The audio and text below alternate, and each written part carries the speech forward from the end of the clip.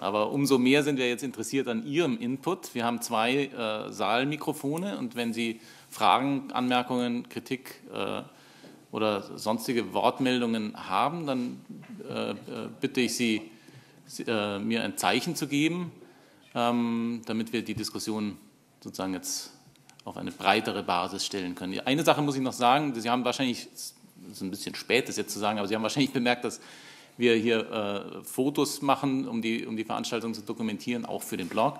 Und dass wir ähm, die, die, die Veranstaltung auch auf, auf Video aufzeichnen, um dann sie eben auch auf dem Blog dann nochmal äh, äh, dokumentieren zu können. Darauf wollte ich Sie nur aufmerksam gemacht haben. ähm, wer hat einen Claudio, bitte. Frage ähm, zu der Trollpolitik bzw. zu dem Phänomen der Trolls. Bezieht sich das auf alle Themen, die im Verfassungsblock diskutiert werden? Oder aber, und das wäre so meine Beobachtung, bezieht sich das Trollproblem vor allem auf die Europafragen?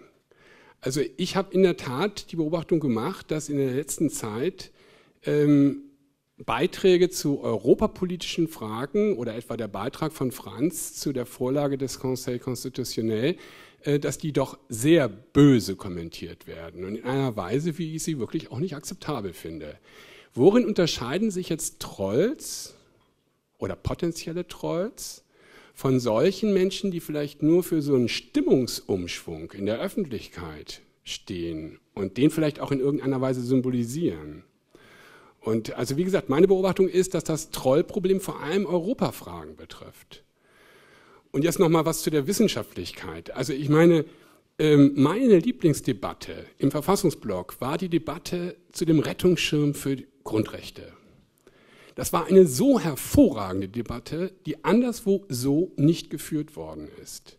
Also wir haben ja in Deutschland in der Rechtswissenschaft das Problem, dass alle Fragen rund um Recht und Politik eigentlich unterbelichtet sind. Also dieses Law and Politics, das haben wir in Deutschland eigentlich nicht. Ne? Und diese Debatte war ein, ein so wunderschönes Beispiel für die Möglichkeiten eines Blogs. Denn offenbar ist es anderswo nicht möglich gewesen, so das zu diskutieren, wie in dieser wirklich, kann man fast heute schon sagen, legendären ähm, Debatte ähm, wo ja ganz unterschiedliche Autoren auch zu Wort kamen, das auch sehr dogmatisch teilweise war. Nicht? Also das war durchaus wissenschaftlich. Ich würde das also dann doch mit Nachdruck bestreiten, dass der Blog, wenn es um Themenschwerpunkte geht, ähm, irgendwie eine mindere Wissenschaftlichkeit hätte.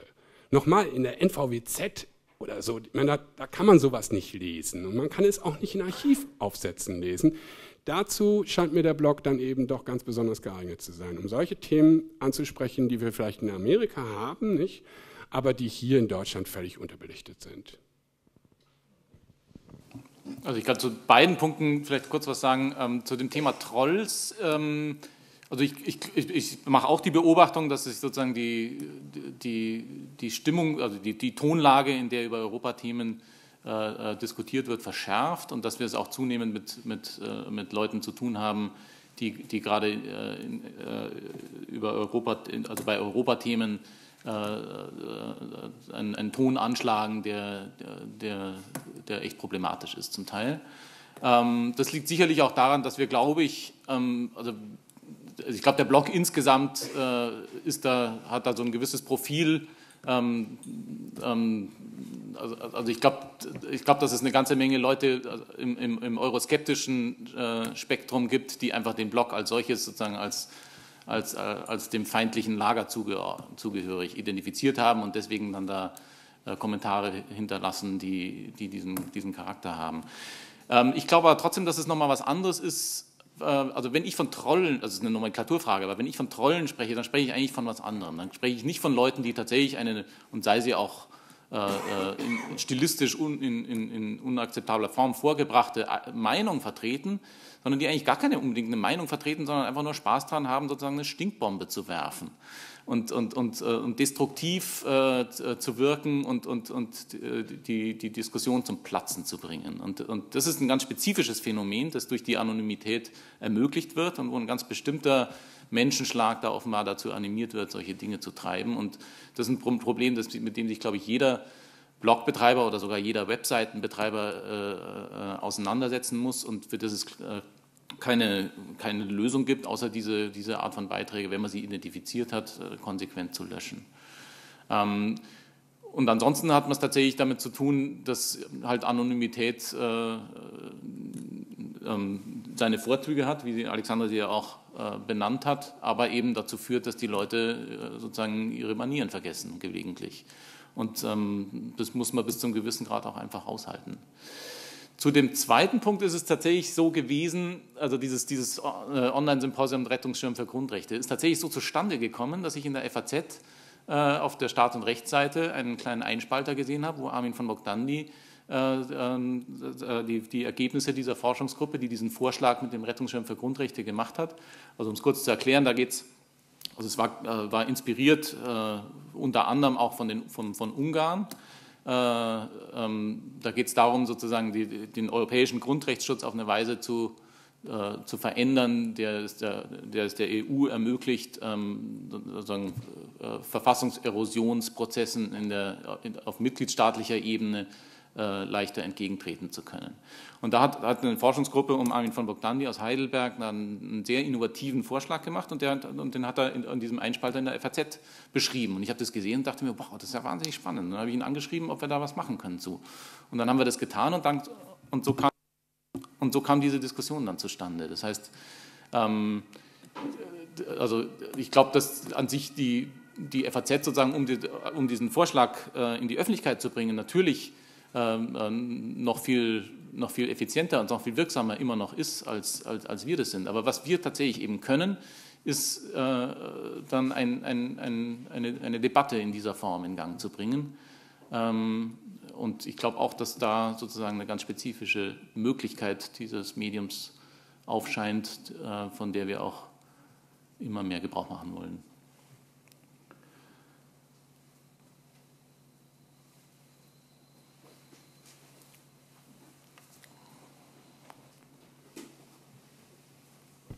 Ja, also vehementes Votum erstmal für die Anonymität, weil also in meiner Rolle kann ich definitiv keine Postings unter Klarnamen abgeben. Ähm, ein Kollege von mir hat das mal bei Facebook gemacht und ist dann am nächsten Tag damit zitiert worden in der Zeitung. Also völlig ausgeschlossen. Ähm, da müsste ich es einstellen. Das Zweite ist, ich wollte mal Impressionen bringen aus der Praxis. Ja? Ich weiß, dass das für die Wissenschaft manchmal ein bisschen irritierend ist. Aber wenn man dann so im Leitungsbereich eines Ministeriums ist und es ist Freitagnachmittag und ein Bundesverfassungsgericht in Karlsruhe schiebt noch schnell eine Entscheidung durchs Fax und plötzlich rollt eine Tsunami-Welle an Anfragen über einen her und man muss irgendwie eine Position zu einem Urteil bekommen ähm, und dann geht man an seine Fachebene heran, die mit derselben wissenschaftlichen Akkuratesse wie die Wissenschaft selbst, da sitzen ja auch zum Teil die äh, Autoren aus der NVWZ, ne, das bearbeiten. Das heißt also sehr gewissenhaft, sehr gut, aber vielleicht kriege ich dann am Dienstag eine Stellungnahme. Ähm, dann brauche ich erstmal einen Zugang zu dem Thema und dann ist der Verfassungsblock unentbehrlich. Und es ist dann auch wirklich so, dass wir dann da so zum Teil einfach das, ähm, das ist nicht die einzige Informationsquelle, da wird auch schon geschaut, was der nicht anwesende Herr Prantl dann so als Kommentar schreibt und so, ne? Aber äh, das wird gesammelt äh, und dann muss man jetzt hier ein Meinungsbild erstmal herstellen und da spielt ein Blog eine große Rolle. Deswegen wünschte ich mir den nicht nur im Verfassungsrecht, sondern auch vielleicht im Zivilrecht und im Strafrecht und vielleicht mal im Verkehrsrecht, keine Ahnung. Also da gibt es eine Menge Anwendungsbereiche, wo meine Arbeit unglaublich erleichtert werden würde, wäre es mehr davon geben. Und das, glaube ich, führt zu einem anderen letzten Punkt, den ich sagen wollte, ist, was ist gesellschaftlich relevant und wie werden Ressourcen verteilt? Also wenn wir ein Thema definieren, und dafür ist Ungarn ein wunderbares Beispiel, also wenn überhaupt mal die Wissenschaft ähm, da jetzt vielleicht nicht die Vorreiterrolle spielt, wenn wir ein Thema identifizieren, dann werden da auch Ressourcen reingesteckt. Und dann kriegen wir Anfragen, dann wird der Bundestag tätig, dann gibt es Anhörungen, dann werden Gutachten verteilt, werden Promotionen ausgeschrieben etc. pp. Also wir bestimmen über die gesellschaftliche Relevanz auch das, wo sich Wissenschaft dann hinbewegt. Insofern hat es eine ganz wesentliche Lotsenfunktion.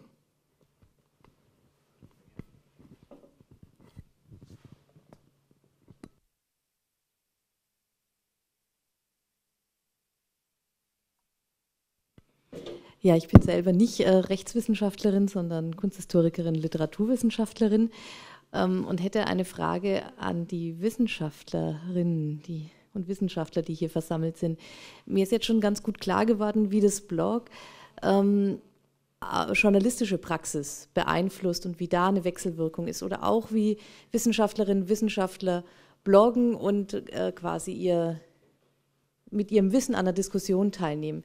Was mich tatsächlich interessieren würde, wäre, wie beeinflusst das Bloggen die wissenschaftliche Praxis?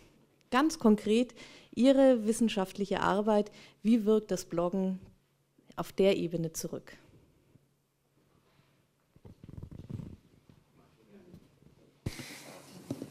Wahrscheinlich wieder ein unbeliebter Kommentar. Bei mir vor allen Dingen als Ablenkung, weil ich in der Pause dann statt Spiegel Online mal den Verfassungsblog angucke. Ähm, aber das sozusagen ähm, ist jetzt durchaus produktiv gemeint.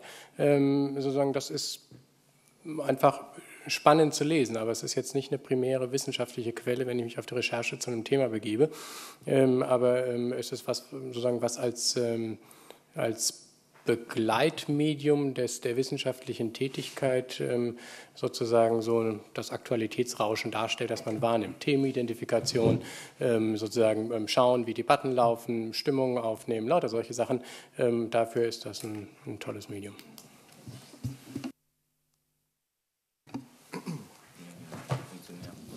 Ja, war die Frage jetzt darauf gerichtet, wenn man selbst da schreibt, wie es dann äh, ähm, verändert? Also erst eine Perspektive, die Martin äh, Eifert genannt hat, ähm, die ähm, sozusagen Konsumentenperspektive.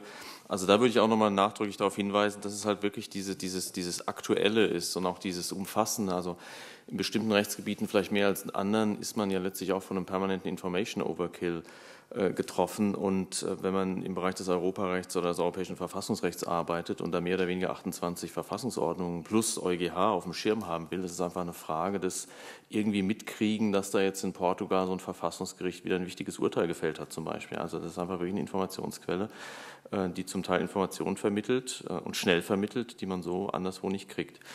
Ähm, wenn man selbst da äh, publiziert, ähm, wie beeinflusst dann äh, das dann die, die eigene wissenschaftliche Praxis? Also wenn das der Hintergrund der Frage sein sollte, so vom Schreiben oder vom Schreibstil, denke ich eher nicht.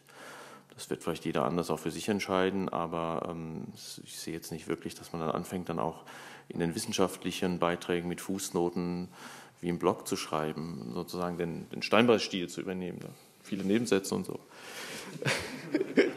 Aber das wäre nochmal eine andere Frage, was auch, es ist in Deutschland, glaube ich, eine ganz alte Streitfrage, wenn man sich auch mit dem angelsächsischen Raum misst. Da gibt es zwei Kulturen, also gerade im angelsächsischen Raum, wenn man da öfter mal war, kriegt man das auch so mit und findet das dann vielleicht auch gut. Herrscht doch sehr äh, häufig die Auffassung vor, dass man eigentlich auch komplizierte Sachverhalte in einfacher Sprache kommunizieren kann, dass das vielleicht gerade die Kunst ist. Und in Deutschland gibt es ja auch eine sehr verbreitete Tradition, vielleicht auch gerade in anderen Sozialwissenschaften als der Rechtswissenschaft, dass also wenn es kompliziert ist, muss es auch kompliziert formuliert sein sein. Manchmal ist es kompliziert formuliert, ohne dass es wirklich kompliziert ist. Aber das ist dann nochmal ein anderes Phänomen, der Jargon und so weiter.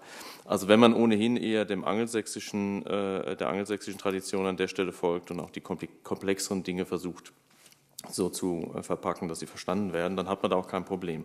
Ganz konkret beeinflusst das Bloggen meine wissenschaftliche Praxis so, dass ich mir dann im Zweifel sage, ja, jetzt ist es eigentlich gesagt, muss ich jetzt, muss ich jetzt nicht noch in der NVWZ veröffentlichen. Ja, also wenn man wirklich die, sich auch, wir sind immer noch nicht ganz dahinter gekommen, was eigentlich bei den Wissenschaftlern das Motiv ist, äh, im Blog zu veröffentlichen. Aber ein Motiv kann ja sein, man hat irgendwie eine Idee. Das sollte eigentlich bei jeder Veröffentlichung dahinter stecken. Aber ähm, jetzt sind wir wieder bei der Qualität der wissenschaftlichen Publikation. Ich verstehe auch gar nicht, wieso vorhin gesagt wurde, wir hätten das alles hier ganz rosa-rot gemalt. Das haben wir erstens nicht und dazu besteht zweitens auch kein Anlass. Also wenn wirklich so der Leitmaßstab ist, man sollte nie etwas veröffentlichen, wenn man nicht mindestens eine Idee hat in der Veröffentlichung, dann ist natürlich, dann glaube ich, besteht äh, nicht alles, was in Deutschland äh, rechtswissenschaftlich publiziert wird, diesen Test. Ähm, Wenn es um die Idee geht, dann ist die natürlich möglicherweise mit so einem Blogbeitrag dann auch kommuniziert und dann kann man natürlich überlegen, will man es noch ausarbeiten, will man es auch ein anderes Publikum adressieren, also es ist eben eine andere Leserschaft im AOR oder in der NVWZ oder für eine Monographie. Ähm, aber das wäre vielleicht das, wo ich, wo ich am deutlichsten sagen würde, das beeinflusst dann wirklich wissenschaftliche Praxis, dann konzentriert man sich da vielleicht auch nochmal auf andere Dinge. Wenn also sagen, die eine Idee in dem Blog dann adäquat kommuniziert ist, dann ähm, und, und man nicht, was jetzt auch nochmal eine Generationenfrage ist, der wissenschaftliche Nachwuchs ist vielleicht trotz aller gegenteiligen Entwicklungen immer noch in Teilen daran interessiert, einfach Publikationsliste muss länger sein und dann wird es halt nochmal irgendwo veröffentlicht und dann ist es natürlich vielleicht doch für die entsprechenden äh, Verwendungszwecke von Publikationslisten von Privatdozenten oder sowas wichtiger, dass es dann halt bei irgendeiner so eine seriöse Zeitschrift ist. Aber wenn man das in Anführungszeichen nicht mehr nötig hat, dann reicht mir das, wenn es im Verfassungsblock steht.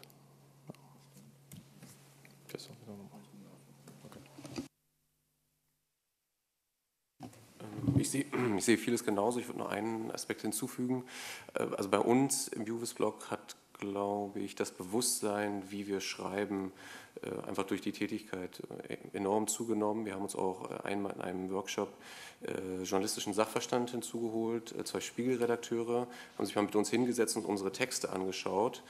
Ähm, da war nicht viel ohne Rotstift mehr zu sehen und ich glaube, das hat auch Rückwirkungen darauf, wie man schreibt. Also bei mir stelle ich das fest, dass ich doch stärker hinterfrage, wie ich schreibe. Aber die Inhalte, glaube ich, ändern sich nicht großartig.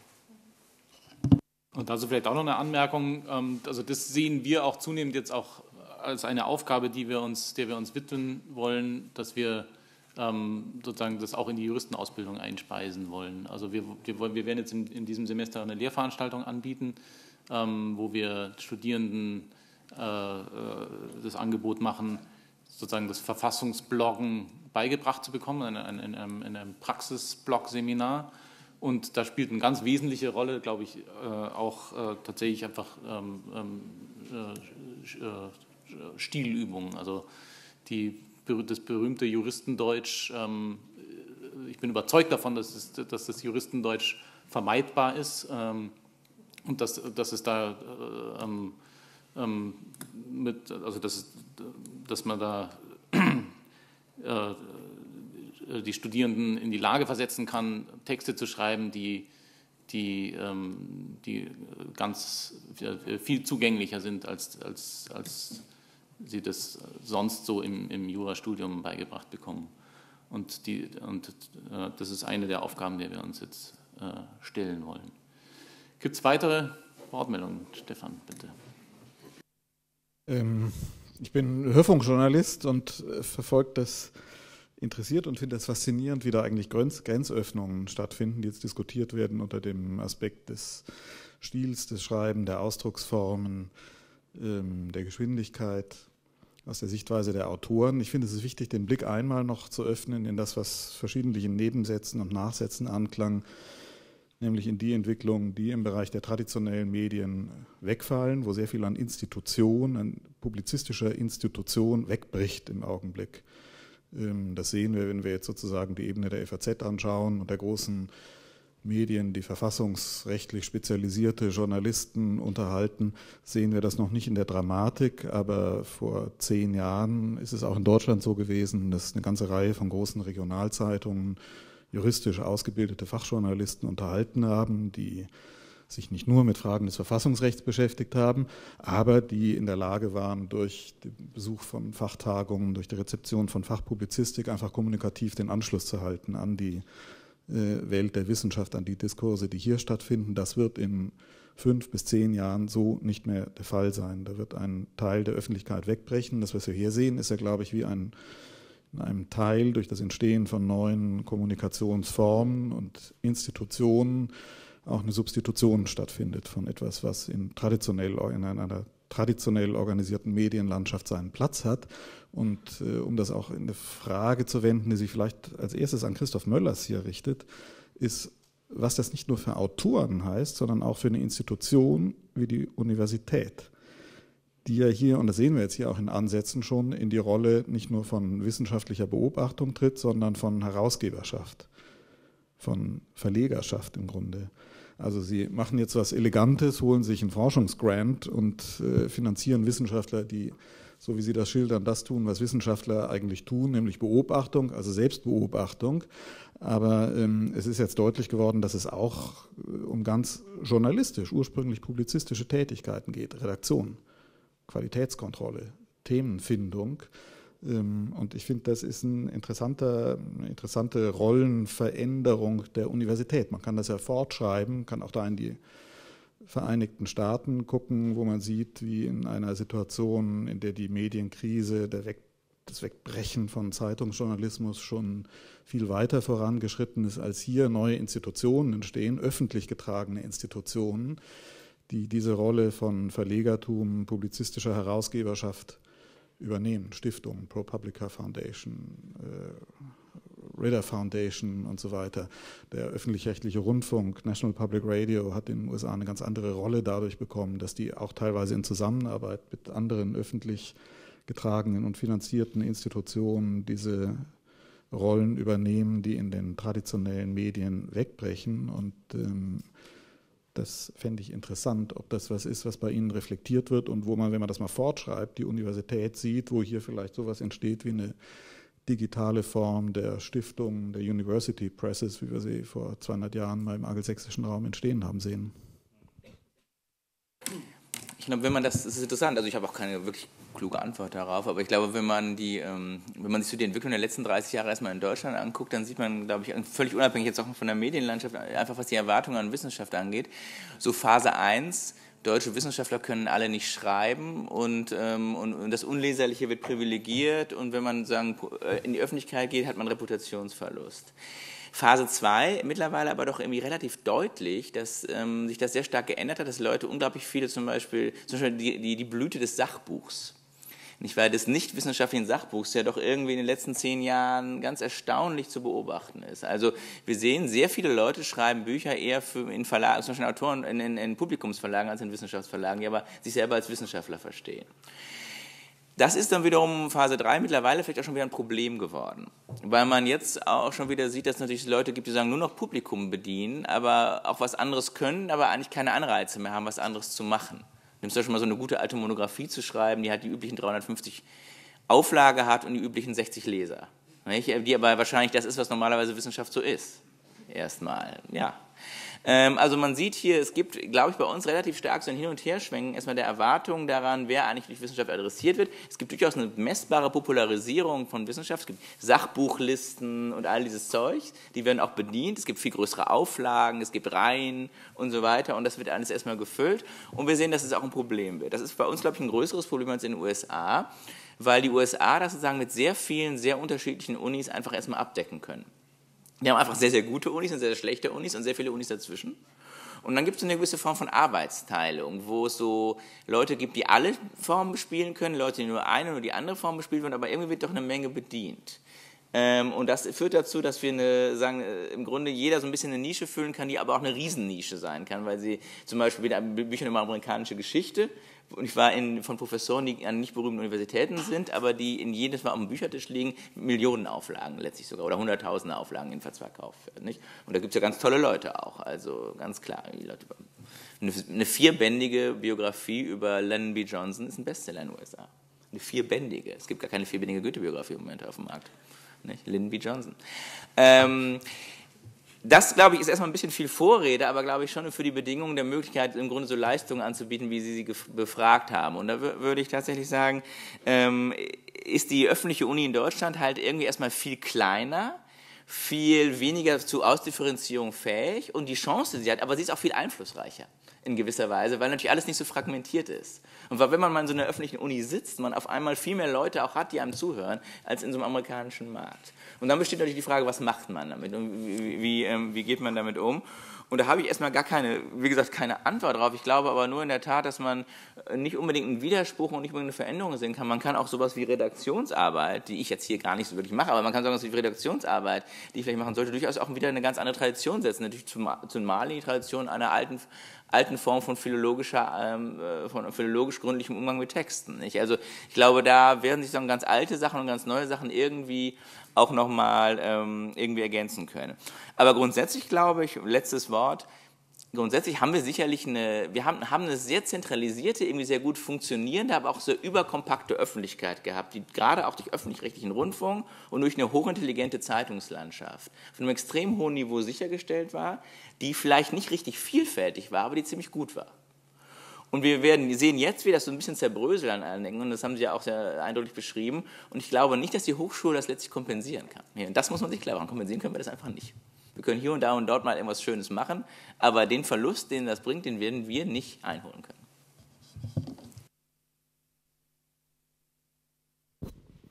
Ja, ich bin Christian Rath, Printjournalist und äh, ich hätte zwei Fragen zur Integrationsfunktion des Verfassungsblocks. Das eine ist so zur Frage der großen Öffentlichkeit. Also so im Moment äh, scheint mir ja der Verfassungsblock noch um die Wissenschaft zu werben. Also er will in den wissenschaftlichen Diskurs hineinwirken. Er will Wissenschaftler hineinbringen in den Blog, dass sie schreiben, dass sie kommentieren. Aber äh, ich glaube, das ist noch äh, deutlich extremer als äh, Stefan Detjen, der ja aus dem öffentlich-rechtlichen Rundfunk kommt und äh, insofern sich um seine Zukunft in zehn Jahren keine Sorgen machen muss. Aber also so die Zeitung, ich glaube, die, die werden in zehn Jahren nicht mehr alle da sein. Ja? Also so wir erleben jetzt so den letzten Moment, wo noch alles da ist und der Verfassungsblock dazukommt. Ja? Und in fünf Jahren wird vieles nicht mehr da sein und in zehn Jahren äh, dann noch mehr nicht. Und da ist dann die Frage, wo, wo siehst du die, die Zukunft? Also so auch ja, auch vielleicht als Ersatz zu rechtspolitischem Journalismus in äh, Tageszeitungen. Also da muss natürlich noch dann vielleicht auch ein bisschen größer werden, ja, also so, äh, aber kann es dabei bleiben, jetzt hier die Schnittstelle zwischen Öffentlichkeit und äh, Wissenschaft zu sein? Und die zweite Frage, also neben der Integration in die Gesellschaft hinein, also für Nichtjuristen, im Moment schreibt er ja schon eher für äh, Juristen, ne? also so sollte es dahingehend mehr geöffnet werden.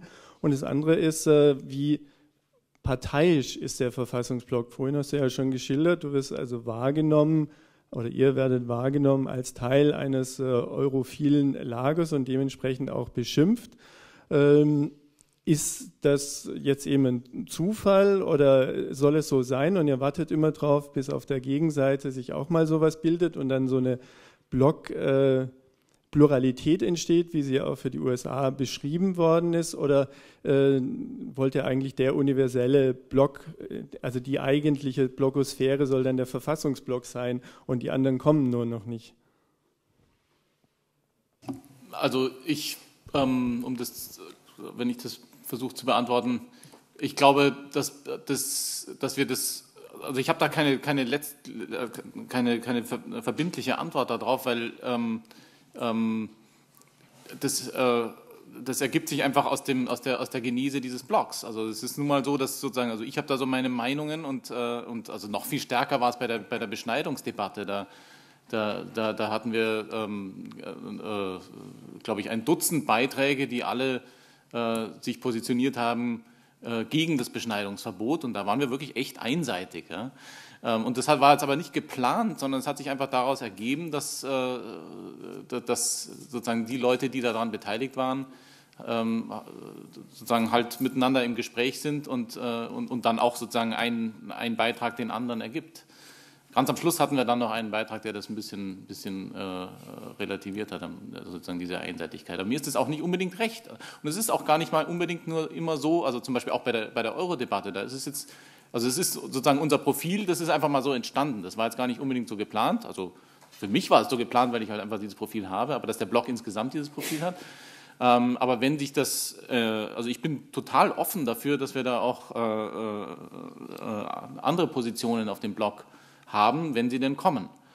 Ähm, und äh, also ich, ich habe ich, ich hab da jetzt weder den Plan, dass ich sozusagen da das, die, die, die gesamte Blogosphäre in, in, auf dieser Plattform sozusagen abbilden will, ähm, ähm, noch möchte ich sozusagen da eine ganz schnittige, einseitige, ähm, äh, ein bestimmtes Lager bedienende Geschichte daraus veranstalten, sondern das wird sich daraus ergeben, wie sich, diese, wie, wie sich die Bloglandschaft insgesamt entwickelt. Und ähm, ist ja auch schon so, wie man sieht, dass es, dass es andere, äh, dass andere Blogprojekte entstehen und das begrüße ich. Also ich, ich habe da, also ich, ich es manchmal so, dass ich gerne äh, Beiträge, die jetzt auf dem Juvis-Blog erschienen sind, und ich sage, das hätte ich aber auch gern gehabt. Aber unterm Strich bin ich sehr froh, dass es, äh, dass es äh, dass es da jetzt weitere Projekte gibt, ein konkurrenzbelebtes Geschäft und das kann uns allen nur nützlich sein. Ähm, was die Substitution von, von Rechtsjournalismus herkömmlicher Art betrifft, also das hat ja auch mit meiner eigenen äh, äh Berufsbiografie zu tun. Ich meine, ich komme ja selber auch aus dem Printjournalismus und war zehn Jahre lang beim Handelsblatt gewesen Und ähm, um auch nochmal zu unterstreichen, was Stefan vorhin gerade gesagt hat, also wie ich beim Handelsblatt 1999 angefangen habe, da waren wir drei Juristen in der Redaktion und in der Politikredaktion, die sich, die sich nur mit Jura-Themen beschäftigt haben. Einer hat nur Steuerrecht gemacht, da gab es noch einen anderen, der hat Steuerpolitik gemacht, aber der hat nur Steuerrecht gemacht. Und das ist ein unvorstellbarer Luxus an, an, an journalistischen Kapazitäten, den man sich damals hat einfach leisten können, weil das Geschäftsmodell dafür da war. Und dann war ich da zehn Jahre lang und äh, das Geschäftsmodell wurde immer mieser und die Arbeitsbedingungen immer schlechter. Und dann bin ich aus, aus freien Stücken da weggegangen, um, um, um mir rechtzeitig was Neues aufbauen zu können. Und der Verfassungsblock ist das Ergebnis dieser Bemühungen. Ähm, dazu, weil wir kurze Anmerkung zu machen dazu, weil ich das ganz wichtig finde, weil es jetzt auch um ökonomische Grundlagen geht. Und man einfach sehen muss, da ist ein Journalist, der erschließt sich, der, geht, der ist beim Handelsblatt angestellt, geht da raus, erschließt sich andere Verdienstquellen. Ähm, schreibt beim öffentlich-rechtlichen Rundfunk was, bei der FAZ, da finden Quersubventionierungen auch statt. Und deshalb finde ich, muss man die Universität da auch nochmal an der Stelle in die Verantwortung nehmen. Auch ich finde, das ist eine Frage, wo es nicht nur um wissenschaftliche Diskurse geht, sondern wo es wirklich in der Situation, die der Christian Rath ja gerade auch nochmal äh, zugespitzt hat, ähm, wo es um die Frage geht, wo finden, wie werden die Institutionen getragen, in denen in Zukunft die, Diskur die Diskurse organisiert werden, die wir jetzt hier beschreiben, die diese Gesellschaft braucht, auf die sie angewiesen ist, wenn es um Recht und Verfassung geht und wo die Träger von solchen Diskussionen zu einem erheblichen Teil wegbrechen werden. Ähm, und das verändert, ich glaube, es wird die Rolle des öffentlich-rechtlichen Rundfunks, der im Moment ähm, in vielen Bereichen auch durch, durch, äh, aus, aus Gründen, die er selber geschaffen hat, ähm, äh, etwas in der Defensive und an der Wand steht, aber das wird das nochmal verändern, wenn man sieht, was an Zeitungsjournalismus wegbricht und da muss man den öffentlich-rechtlichen Rundfunk in allen seinen Facetten in die Verantwortung nehmen. Er muss sich der stellen und auch andere, ähm, äh, andere Institutionen, die sich dem Diskurs in der Gesellschaft verpflichtet fühlen, müssen sich, glaube ich, dieser Frage sehr aktiv stellen. Stiftungen und vielleicht auch Universitäten. Also ich bin ja ein großer Freund der Verantwortungslosigkeit der Hochschule tatsächlich. Also das würde ich schon ganz dezidiert auch nochmal sagen. Also ich glaube schon, dass wir das hier machen. Ich glaube, dass es gut ist und ich glaube auch, wenn wir Nutzen abwerfen, sollen wir es tun. Und ich finde, das ist ein Projekt, wo das sich fügt. Aber grundsätzlich würde ich mich doch dagegen wehren, irgendeine Verantwortung zu übernehmen. Ich glaube, das ist gerade der Witz an der Universität, dass ein Raum ist der Reflexion, in dem man sozusagen erstmal nicht irgendwie in die Pflicht genommen wird für irgendetwas anderes.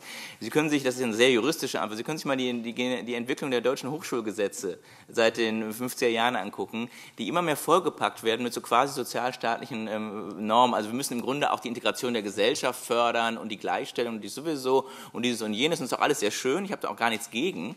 Ähm, also ich meine, mein Gott, aber es ist irgendwie eigentlich nichts, was mit, äh, mit einer Uni was zu tun hat. Ähm, ähm und es hat nichts mit Forschung zu tun und ein bisschen was mit Lehre. Also ich wäre sehr skeptisch tatsächlich. Ich glaube, wir werden, würden völlig überfordert werden. Und, ähm, und es würde letztlich auch ähm, vielen anderen Erwartungen, die älter und vielleicht auch legitimer sind, nicht gerecht werden. Also wie gesagt, ich bin sehr dafür, aber da ist das juristisch ja sehr ähnliche Organisationsmodell der öffentlichen Hochschule und der öffentlichen rechtlichen Rundfunkanstalt in der Sache, glaube ich, auch diametral entgegen. Wir werfen erstmal keinen Nutzen ab. Ähm, außer ähm, kollateralen Nutzen, der aus der Wahrheitssuche kommt. Da wäre ich relativ, würde ich mich, glaube ich, gegen wehren wollen. Ich glaube, dass wir auch zwei Sachen unterscheiden müssen. Das eine ist einfach der Medienwandel.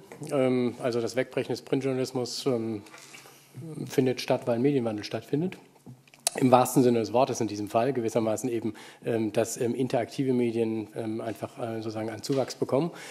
Das heißt nicht zwingend, dass Qualitätsjournalismus ausstirbt. Eine bestimmte Form des Qualitätsjournalismus steht unter massivem ökonomischen Druck.